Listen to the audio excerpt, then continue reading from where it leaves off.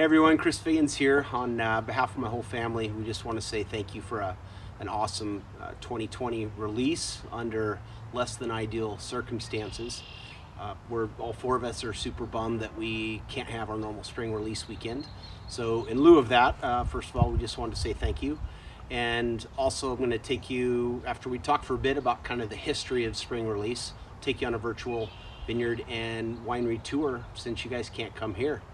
Mom or dad, you like care to like chime in about how it started and why it started at the very beginning, you know, 40 plus years ago? Spring release weekend started, actually we had two um, open houses a year um, because we did whites. We would uh, release in May. And then we went to what was called Leonetti Weekend, which was annually. Missing this open house is 45 Leonetti open houses. Right. So it's, it's kind of sad to see that all of you, most of you, won't be here, but uh, we know you'll be here next year. And then, of course, all the other wineries came on board, and so Spring Release Weekend is a very big deal here in Walla Walla. So everybody's very saddened that people will not be coming to our beautiful little town. So thanks to our list members supporting us, supporting small businesses and small wineries in Walla Walla. We're so thankful and appreciative of, of that. And uh, yeah, typically the reward is spring release weekend. And obviously that's not happening this year, but hopefully through this uh, awesome little reality look into uh, into our lives here and the tasting that uh, you'll feel a little bit part of being here. I have like a couple of very distinct memories about spring release weekend. Um, before we built the new winery, we used to have the tent out front.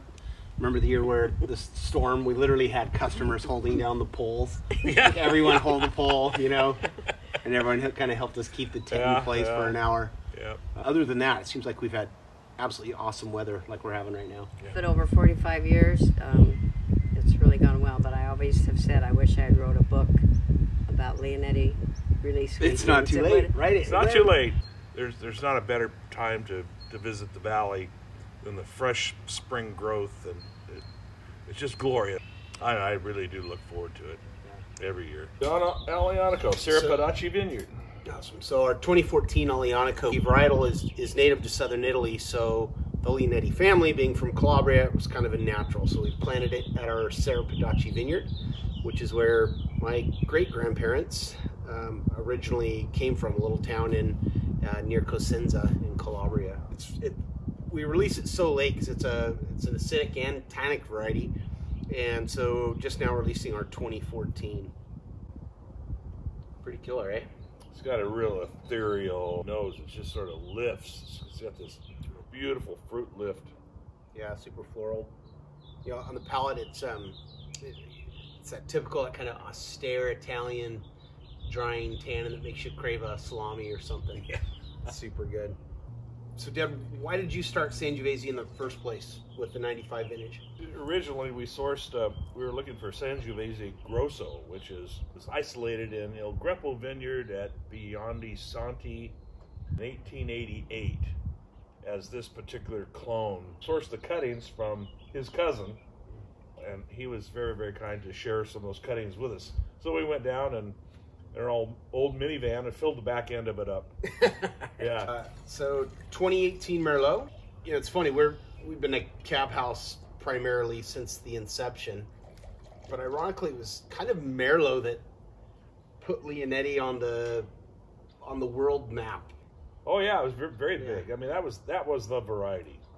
Uh, Merlot was being poured in every wine bar in, in America, and then uh, when Sideways came out, sales on Merlot kind of dropped. God, that movie. so now Merlot has bounced back, and and Yeah. uh, so so the, the real producers who's always made really good Merlots con- continue to do so. Uh, this is the Oh. 18s. Yeah, so good. So purity of fruit that Merlot has, that just it's just gorgeous this year. Just plum and the ripeness and softness. It just doesn't need the time in the cellar. And uh, 18 was a wonderful vintage all the way around. On to the Cabernet. Yeah, so 17 was a really good year. It reminds me of 2012 and 2007. Just just a perfectly average year. I don't mean that qualitatively. I mean it in terms of the the weather curve, and I think the wine shows it. Just really gorgeous singing nose. You could just tell it's cap in the nose because it's it's just deeper and more restrained. You know, just showing that that deep dark black fruits. Cab is king. Cab is king. Long live the king. Leonetti reserves have always meant something very special. We don't label it Cabernet Sauvignon just because we want the varietal freedom within, you know, to be able to add Merlot or Malbec or Petit Verdot. It could be labeled Cabernet Sauvignon because it's 75% or more. We're not so obsessed with what the variety is rather than it being the, the best barrels from our best blocks in any given year. So we blend the reserve first and, and then the Cabernet.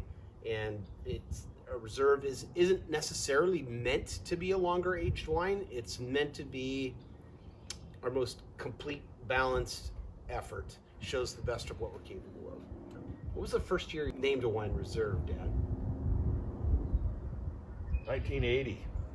Yeah. Pretty ballsy for a three-year-old winery. Tell me about it. Right. Some of our first uh, first fruit off of the Leonetti vineyard. So good. right. Oh, it's just amazing. Nose on this is so floral, like a lot of white florals, like um, Oh, either hint of gardenia or what's the a honeysuckle. yeah, Yeah, Yeah. honeysuckle. which is pretty Wow, Pretty- that's that's pretty exotic for yeah, a red very wine. very exotic for a red. Mm, great length, super seamless, rich fruit, That's Yeah. complete from from beginning to end. pretty great. So Oh. I, think it, I think it stands up to what we're what we're trying to do, and it's kind of become to be the standard bearer Washington, you know, which is something we're really proud of. Great. Well, hope uh, hope you guys can taste taste at home and enjoy these wines too. Um, we love hearing feedback on, you know, when you taste. We get notes all the time. They get emailed to us or text messages or calls or whatever. Um, people cracking special bottles. That's always really fun for us. Give people enjoyment and pleasure is is what uh, you know. It's what spools us up and keeps us going. So I thought I'd start a little vineyard tour, talk about our vineyards right here where it all started. Um, so this little block of Merlot right here is actually the oldest vines in the valley. And a year before, my dad planted the original Leonetti vineyard, which we no longer have. But we've kept this block and it just keeps on ticking. Uh, makes really, really fantastic wines. Ironically, there's uh, four Cabernet vines in it and one Gewürztraminer vine. it shows just how detailed things were back in the 70s. Um, our other vineyards that we have are our Loess Vineyard, which is on the hillside behind the winery to the east of the winery, and our Mill Creek Upland Vineyard, which is up Mill Creek Road, about 1,600 feet high elevation, um, our northernmost vineyard. And then on the south end of the valley, actually on the Oregon side of the border, we have our Holy Roller Vineyard, which is in the Rocks and Milton Freewater, our Serra Pedace Vineyard, which is um, overlooking the valley on the very south end. Both Upland and Serra Pedace produce these powerful, uh, more tannic wines because they're higher elevation, windy sites, whereas as Loess Vineyard is uh, is somewhere in between, and then Holy Roller produce our softest, most minerally wines. We farm all of our vineyards ourselves in house. Gives us a real advantage, I think. You know, we can we can execute things and pay attention to detail that um, someone who's not farming for wine but farming for grapes might not otherwise. All right, time for a little winery tour. So this little building behind me, uh, that we now call the tea shed, and I'll show you why. We brew compost tea inside of it. Is where it all started, and it was a tack shed when my parents bought this house when I was three years old, and so this would have been '76. Moved in here, and it became the winery. And the basement of the house was the cellar. So a lot of history in this little building. In some ways, we're still making wine in there because we brew compost teas for the vineyard but uh, pretty neat little building and a lot of history. So then, of course, there's the famous Leonetti Stone Building, and I'm super proud of the fact that my dad, my uncle, and I collected every rock in this building. We'd go up on Sundays, fill up Old Green, that we called it. It's an old uh, Forest Service pickup truck that I recently just bought back. I'm really stoked. That's a whole nother video and going to be a separate project but uh, we'd fill up a, a, pickup truck full of rocks that we'd pick up alongside the road up in the mountains on Sundays. They'd drink beer and wine and whatnot, and I'd play with my trucks and help load a few rocks. And then when I was in high school, I'd have to load the scaffolding for the mason every day, uh, higher and higher. So uh, by my senior year, I think about is when we finished it, and uh, it was a big job every day after baseball practice. So this, of course, is our fermentation room. 46 weeks out of the year, this place is like this, calm, quiet, nothing going on. About two months out of the year where it is crush. This is where it all happens right here. The crush pads um, right out in front of me here, all fruit comes in, all the fermentations are going.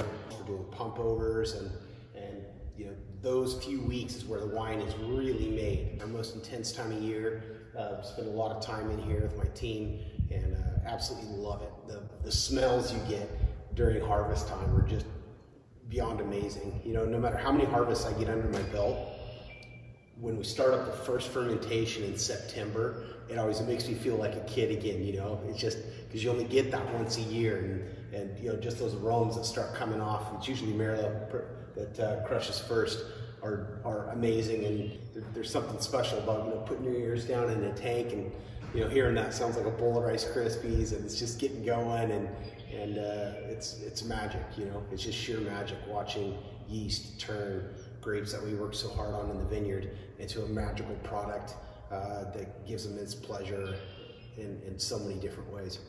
So at the end of fermentation, we drain the tanks. We call that the free run. That free run uh, goes downstairs into barrels via gravity, which is my absolutely favorite part of this whole building is the cellar. So let's go check it out.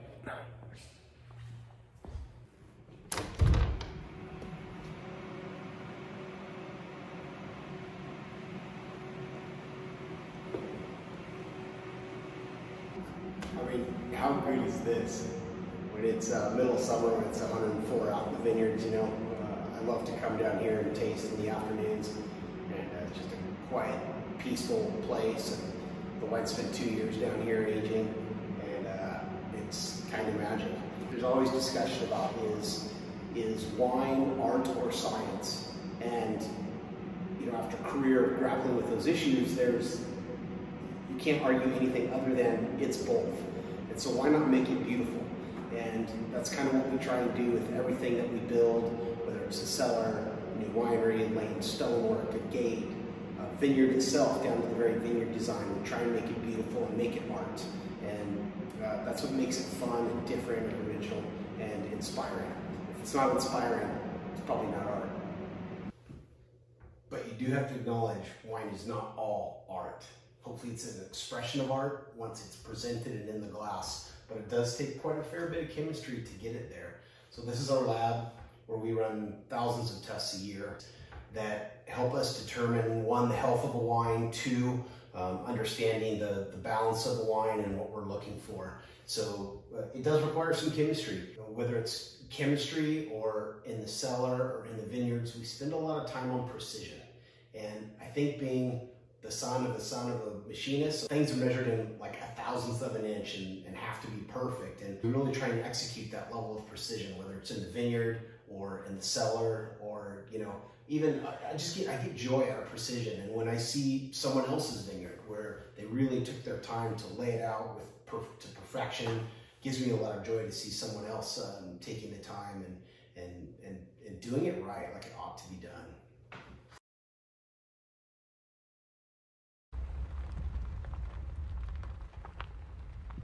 So this is our beautiful uh, Loess Vineyard just to the east of Leonetti, which is right down there.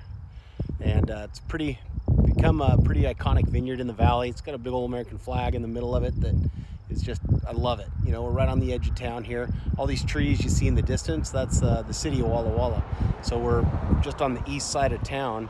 And then uh, if we flip around, however, you will see that it's very much country on the other side. Those, of course, are the uh, beautiful Blue Mountains off in the distance. Gorgeous. So, guys, it's our little vineyard and winery tour. Hope you liked it. And, um, you know, this, I'm not obviously a professional video editor. I'm a winemaker. And uh, all this is just shot on an iPhone, super casual, but wanted to give you a little little inside look. So sorry I'm not right here on the crush pad uh, greeting you this weekend um, handing you a glass of wine, but uh, we do appreciate the support. And, um, you know, if you like this video, uh, I'll make more of them and we'll have some fun with it throughout the growing season. I mean, we're all going to be stuck at home all year anyway. So let's make the best of it. That's what leadership is about. All right. Cheers. Peace.